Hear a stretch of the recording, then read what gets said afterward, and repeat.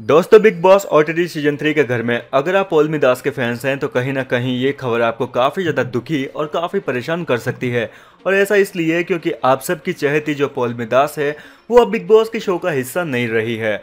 लवकेश कटारिया, जो कि इस समय घर के बाहर वाले की भूमिका निभा रहे हैं, उसके हाथ में बिग बॉस ने एक स्पेशल पावर दी थी कि बॉटम टू कंटेस्टेंट में से किसी एक को अभी इसी वक्त घर से बेघर करना होगा। इस दौरान दोस्तों, लवकेश कटारिया ने पौलमी दास का नाम लिया और जिसके चलते पौलमी दास घर से बेघर हो चुकी है।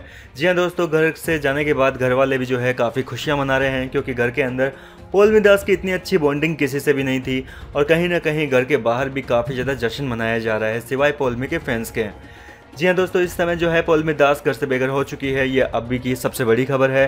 दरअसल आज मिडवी के एविक्शन का एक टास्क हुआ था, जिसमें कि बिग बॉस ने घर के नॉमिनेटेड छः कंटेस्टेंट में से तीन के नाम बता दिए थे कि तीन में जो बॉटम में हैं, वो है चंद्रिका, पौलमी और मुनिशा खटवानी इन तीनों के लिए वोटिंग लाइन्स चालू करवाई गई थी, जिसके बाद यहाँ पर पौलमी दास को सबसे कम वोट मिले थे और इसके अलावा मुनिशा जो कि टॉप टू में शामिल हुई थी बॉटम में। इस दौरान यहाँ पर जो है लवकेश कटारिया ने अपने दोस्त को बचा लिया और साथ ही साथ पोलमी दास को घर से बेघर कर दिया। फ़िलहाल क्या कहना चाहेंगे पोलमी के मिडवी के एविक्शन के बारे में? आप अपनी राय हमें कमेंट करके बताएँ। लेटेस्ट अपडेट्स के लिए चैनल को सब्सक्राइब कीजिए ताकि हर अपडेट आप तक पहुँचे सबसे पहले।